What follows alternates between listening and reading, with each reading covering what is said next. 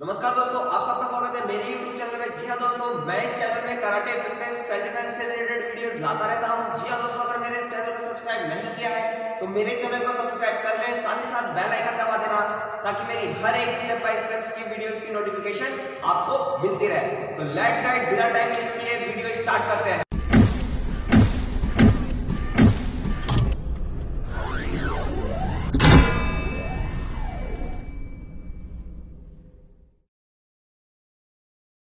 जी हाँ दोस्तों, जैसा कि हमने लास्ट वीडियो में सीखा था कराटे और कौन सा कराटे सीखते हैं और टीचर को क्या बोलते हैं तो उसी से रिलेटेड मैं आज आप लोगों को सिखाने वाला हूँ।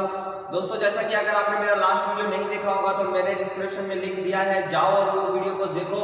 और दोस्तों, एक बात और बता दूँ मैं आप लोगों को कि जितनी कुछ भी मैं आपको सिखा रहा हूँ step by steps so please आप लोगों को ये देखने से और सुनने से आप लोग नहीं सीख पाओगे। आप एक छोटी सी डायरी परचेज करो और उसमें स्टेप बाय स्टेप जो कुछ भी मैं एक एक छोटी छोटी चीज़ें बता रहा हूँ, ध्यान से सुनकर उसको नोट डाउन करो दोस्तों और उसका डेली सुबह सुबह अभ्यास करो ताकि वो आपके ब्रेन में सेट रहे, ताकि आप कभी भी कहीं जाओ तो आपको ऐसा ना लगे कि आप ऑनलाइन से देख के सीख रहे हो या कुछ और से देख के सीख रहे हो। तो जी हाँ दोस्तों, बिल्कुल भी बेझिझक आप लोग बोलोगे और ऐसा लगेगा कि हाँ आप पर्सनली कहीं ट्रेनिंग करते हो या कोई आपका, आपको कोई सिखा रहा है तो वैसे ही आपको फील होगा और आपके अंदर क्वालिटी आएगी कराटे के बारे में।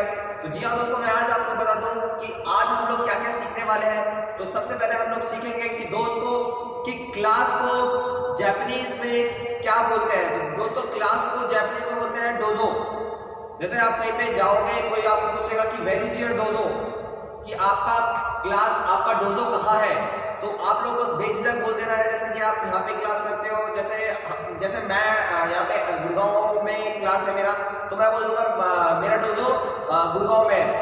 तो दोस्तों, वो लोग आपसे डोजो का मतलब पूछेंगे तो डोडो को डोजो का मतलब आपको बता देना है कि क्लास क्लास वो आपसे क्लास पूछ रहे हैं। तो जी हाँ दोस्तों, उसी प्रकार से जैसे आप लोग आपसे पूछ सकते हैं कि गी किसे बोलते हैं। तो दोस्तों, आप लोग बता सकते हो कि गी यूनिफॉर्म होता है। जी हाँ दोस्तों गी कराटे के यूनिफॉर्म को बोलते हैं।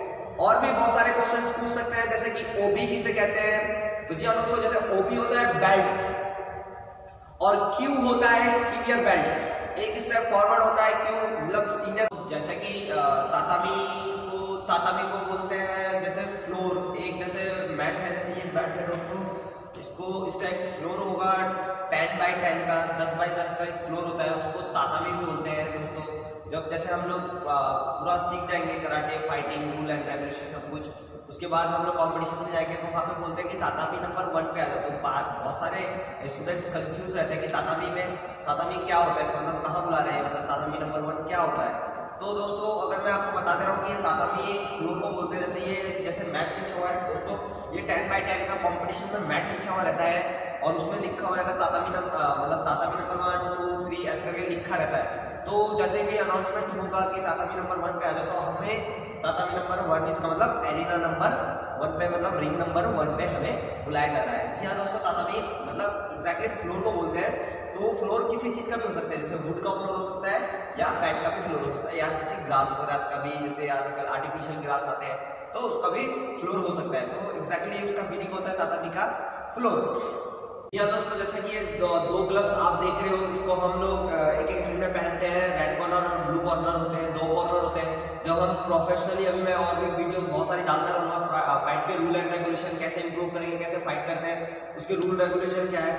तो उससे पहले मैं आपको ये इसीलिए बता रहा हूँ ताकि आगे वाले वीडियो में आपको दिक्कत ना हो कि आप लोग ऐसा ना बोल दो कि डायरेक्टली क्या सिखा रहे हैं। तो मैं आपको पूरा step by step rule by rule सिखा रहा हूँ ताकि आपको आगे जाके इजी हो। तो दोस्तों, ये होता है रेड ग्लव्स ये होता है ब्लू ग्लव्स जैपनीज में जब आप कंपटीशन जाते हो, कहीं पे भी जाते हो तो आपको ये नहीं बोलेंगे कि रेड कॉर्नर और ब्लू कॉर्नर आ जाओ। तो वहाँ पे रेड कॉर्नर को बोलते हैं अक्का। जी हाँ दोस्तों रेड कॉर्नर को बोलेंगे अक्का और ब्लू कॉर्नर को बोलते हैं आओ। इसका मतलब कंफ्यूज नहीं हो रहा है दोस्तों। अक्का मीन्स रेड होता है ब्लू मीन्स आओ होता है। तो दोस्तों, ये आपके दो ग्लव्स के एग्जांपल दे दिए मैंने। अक्का मीन्स रेड और आओ मीन्स ब्लू। तो मैं बता दूँ आपको कंपटीशन में दो चीज़ होते हैं दोस्तों। एक होता है फाइट और एक होता है परफॉर्म जी हाँ दोस्तों, दो इवेंट होते हैं। एक होता है फाइट और एक होता है परफॉर्म फाइट को दोस्तों कुमीते बोलते हैं। जब भी हम लोग कभी कंपटीशन में जाएँगे तो वो कुमिते बोलेंगे फाइट नहीं बोलेंगे दोस्तों। तो ये चीज़ आप ध्यान कर लो और नोट कर लो दोस्तों। कुमिते मीन्स होता है फाइट और दूसरा जो फॉर्म होता है उसको बोलते हैं काता जी हाँ दोस्तों काता मीन्स होता है फॉर्म परफॉर्म एक्शन करके दिखाना और कुमिते होता है एक की आपको फाइट करके दिखाना। तो जी हाँ दोस्तों, दो दो चीज़ है, दो इवेंट होते हैं। ये दो इवेंट हमारे इंटरनेशनल नेशनल डिस्ट्रिक्ट स्टेट सब जगह ये दो इवेंट होते हैं जिस, जिसके माध्यम से हम लोग आगे अपना परफॉर्म कर सकते हैं और अपने तक जा सकते हैं। तो जी हाँ दोस्तों, ये भी दो दो नोट डाउन कर लो तो ये थी दोस्तों नेक्स्ट डे की क्लास तो जी हाँ दोस्तों, देखो, मैं तो आपको स्टेप बाय स्टेप सब कुछ सिखा दूँगा, सिखा रहा हूँ। तो इसी टाइप से आपको